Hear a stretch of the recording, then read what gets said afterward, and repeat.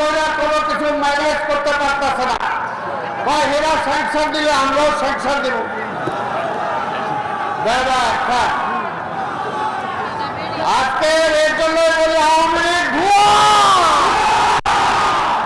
ওবায়দুল কাদের ভুয়া ভুয়া ভুয়া তাই স্বাগত বন্ধুগণ আচ্ছা তাই আজকে এই ভুয়া সরকার নিজের দেশের বিরুদ্ধে বিএনপির বিরুদ্ধে জনগণের বিরুদ্ধে এইখানে যুদ্ধ ঘোষণা করছেন। আর জাতিসংঘে যা বলেন, আমরা যুদ্ধ চাই না।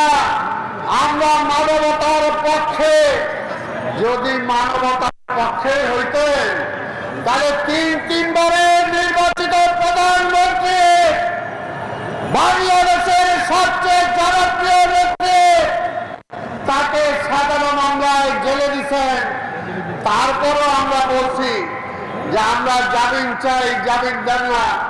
আমরা বলছি, তার চিকিৎসার জন্য বিদেশে পাঠাতে চাই। আপনি সেটা দেন না। আর উনি যা বলেন যে মানবতার পক্ষে কাজ করতে হবে।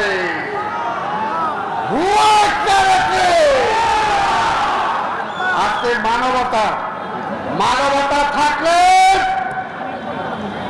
আজকে প্রধানমন্ত্রী অযোগ্য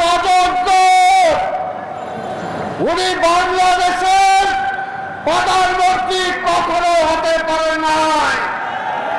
তিনি আওয়ামী লীগের সভানেত্রী হিসাবে কাজ করছেন।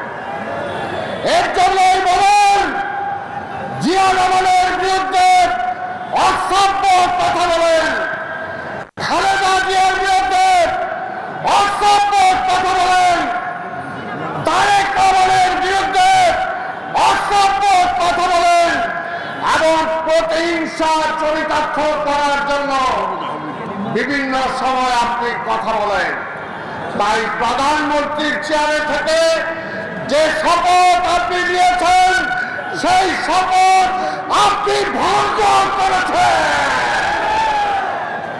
আজকে কথায় কথায় বলেন, গ্রহণযোগ্য নির্বাচন দিবেন উনি।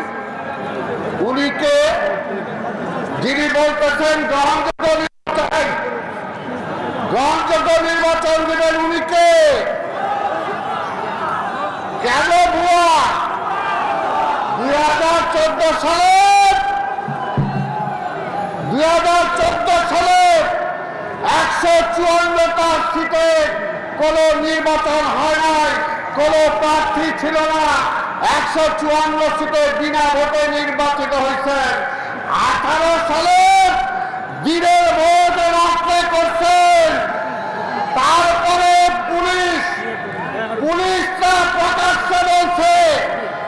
এই সরকারকে আমরা ক্ষমতায় আনছি, আওয়ামী লীগও ক্ষমতায় আনে না। এই ভুয়া সরকার বলে যে একটা গ্রহণযোগ্য নির্বাচন দিবে এটাকে বিশ্বাস হয়? এটাকে বিশ্বাস করা যায়? বিশ্বাস করা যায় না। আপনারা এই দেশের মানুষ বিশ্বাস করে না। তাই পরিষ্কার কথা পরিষ্কার কথা।